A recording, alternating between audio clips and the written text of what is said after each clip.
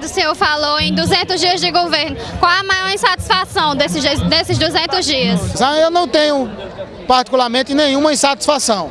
É, existe assim a nossa preocupação em virtude do tempo, que é pouco. Não tivemos um ano inteiro para planejar nossas ações, mas não estamos insatisfeitos de maneira alguma, porque temos primeiro a aprovação popular, que é aquilo que deve nortear um governo. É muito importante a aprovação popular. Nós temos o respaldo da população de Cajazeiras. Mesmo com as dificuldades, com as crises, conseguimos fazer as obras, fazer os investimentos. Então esse governo não tem nenhuma insatisfação. Esse governo tem avanço, tem desenvolvimento tem credibilidade perante a população e vamos fazer muito. Se em 200 dias já pudemos realizar tanto e trabalhar tanto, imagine com o restante de tempo que teremos para fazer essa cidade cada vez melhor. Prefeito, passado 2011, a população ainda pode esperar pelo concurso público agora para 2012? Claro, a porta correta de ingressar no, no serviço público é o concurso.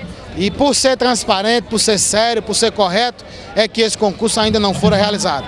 No momento em que surge é, um, um, mínimo que seja questionamento sobre a empresa que faria a aplicação das provas, esse concurso não pode prosperar, não pode ir para frente.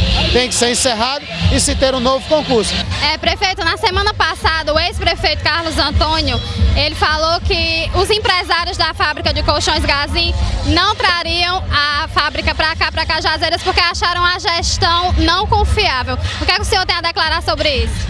É uma graça. Esse, esse, esse cidadão está é... perdendo tempo na política, né? Está perdendo tempo na política. Se ele tivesse no ramo humorístico, ele estava tendo mais espaço, tendo mais repercussão no que ele fala. Não pode escrever o que está dizendo, não pode ser colocado. A Gazinho veio para cá e ele mesmo sabe disso. Ele sabe que ele nunca teve reunido com a diretoria da Gazinho, como ele disse.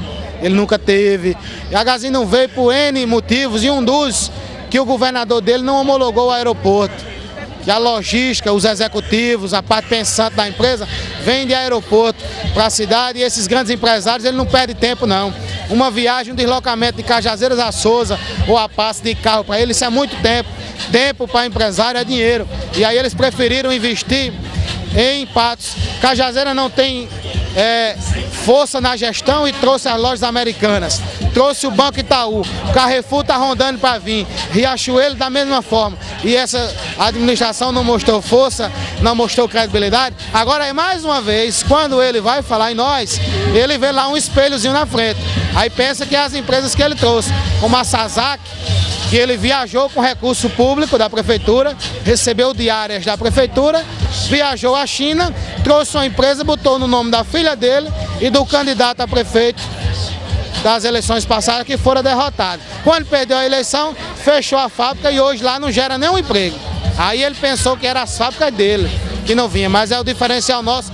O exemplo e o diferencial dos Carlos é exatamente esse. Você pega a Mississippi, e a Sazak e compara com as lojas americanas e com o Banco Itaú. Aí vê quem é o melhor.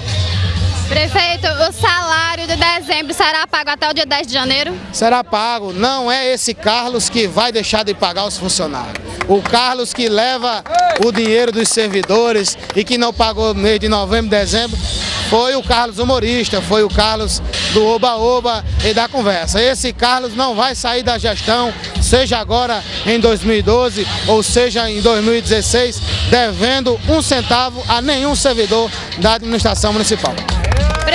Mudanças no secretariado agora em 2012. São alguns secretários candidatos a vereadores. Eles vão se afastar logo no começo do ano ou só no prazo determinado? Nós vamos conversar, nós temos um time bom. É, muitos secretários nossos serão candidatos.